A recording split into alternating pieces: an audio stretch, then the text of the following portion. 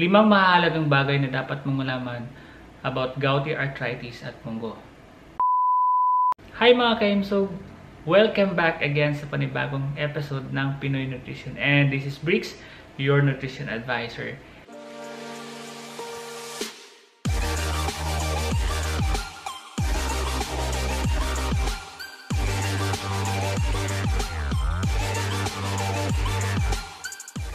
And for today's episode mga kaimsog ay ating pag-usapan ng about gouty arthritis at munggo.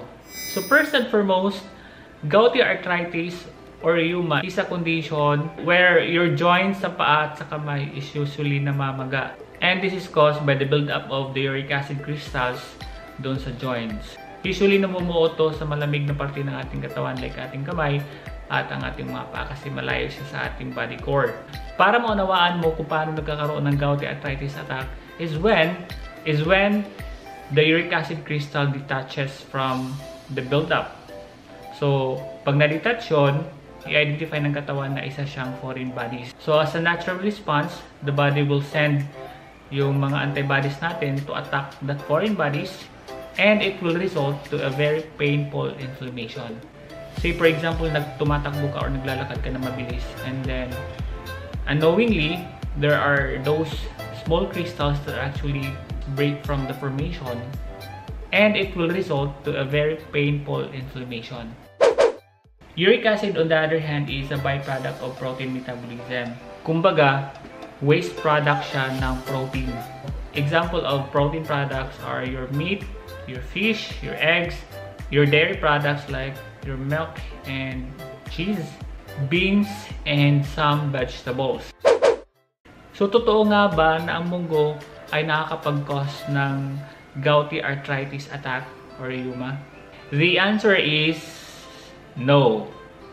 According to FNRI or Food and Nutrition Research Institute in the Philippines, munggo, lahat ng klase ng beans, including your sitaw, bagyo beans, have no uric acid content. Uh, by the way mga kahimsog, just to let you know, munggo plus rice is a complete meal already. Because, yung amino acid o yung protein na wala doon sa munggo, which is your methionine and your cysteine, can be found in the rice. So, by combining rice and munggo, you have a complete meal. You have a complete protein. So, here are the five facts. Number one, high fat intake. Cooking munggo with some vegetables in it is completely fine. However, pag niluto mo ni munggo mo with added fat, that will be a problem. Remember na isa sa mga kalaban ng gouty arthritis or rheuma is the fat. Because fat triggers the inflammation.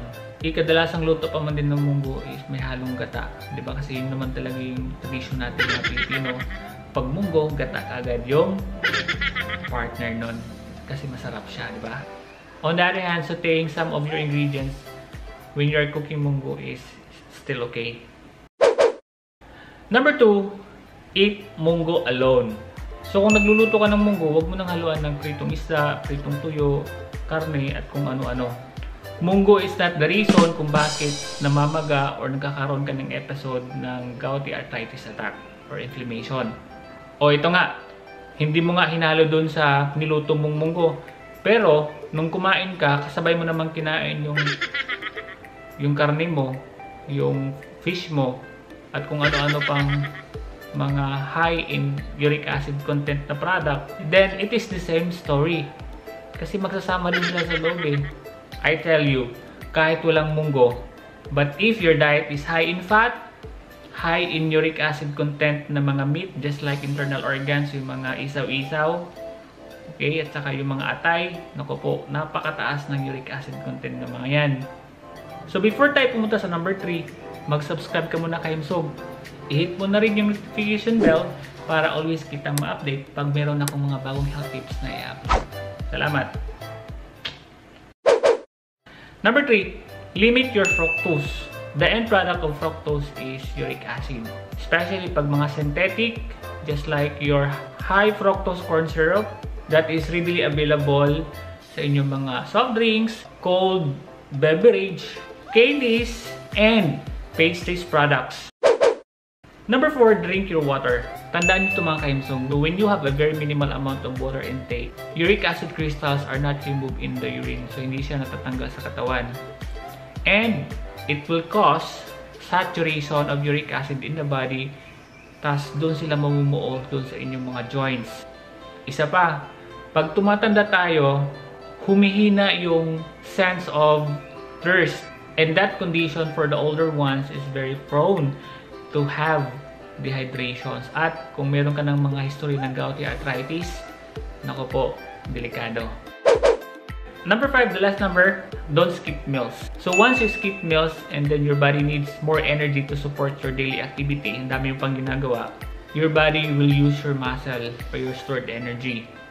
And by doing that process, especially pag yung muscle na yung ginagamit ng inyong katawan as a source of energy, the end product will be uric acid as well. So be careful. So that's all for this episode. I hope that you learned something new today. And if you do, please like and share this video. Subscribe ka na rin to support this channel.